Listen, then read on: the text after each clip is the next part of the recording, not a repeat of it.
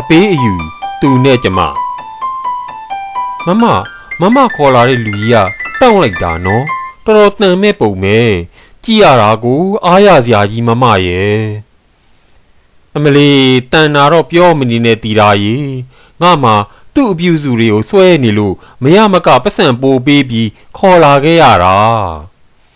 ဟေးမမရဲ့အဲ့ဒါဆိုတီတာလဲတချီလောက်ခံကြည့်ကျင်တယ်မမရဲ့တီတာကိုလည်းလှုပ်ပေးဖို့ပြောပေးစမ်းပါမမ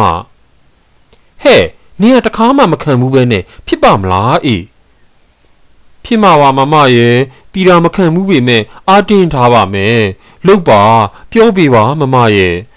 သူ့ဗလာကြီးကြည့်ပြီးတီတာမနေနိုင်တော့လို့ပါကြည့်ပါဦးမမရဲ့လက်မောင်းကြီးကလည်းအတုပ်ကြီး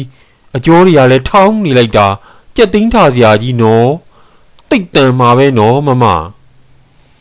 အမလီတန်သလားတော့မမီးနဲ့ဟေးအပေါ်ကတက်ပြီးတစ်ချက်တစ်ချက်ဆွဲလိုက်ရင်လေအကျော်တဲ့ထိအောင်ကိုဤစိတ်သွားတာပါပဲအေး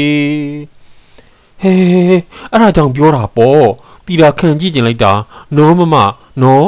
တီတာပတ်စံပို့ပေးပါမယ်တီတာကိုပြောပေးပါမမရဲ့ ညီရလေအေးငါခံမှုခေါ်လာတာ ਉਹ ရပါတယ်ဒါဆိုမမအရင်ခံလိုက်ဒီပြီးတော့မှမမပြီးမှတီတာကိုလှုပ်ခိုင်းပေါ့ဟဲ့တီတာ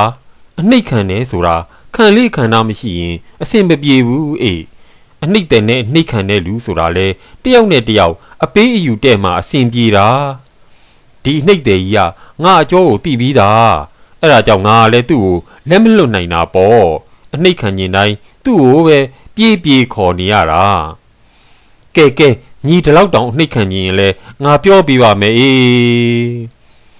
ကျေးဇူးပါပဲမမရဲ့တီတာလဲအကျော်ကြီးအရန်တက်နေလို့ပါမမရဲ့